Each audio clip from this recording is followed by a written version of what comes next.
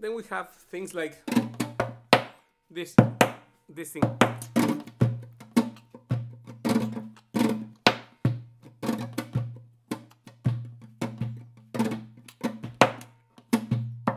This, this ornament from it comes from here from this thing here which will be 12 1 2 3 4 5 6 7 8 9 10 11 12 1 2 3 4 5 6 7 8 9 10 11 12 1 2 3 4 5 6 so Paco put this thing which was this was supposed to be played on the tables to mark the, the beat gypsies to this thing in Buleria, you know.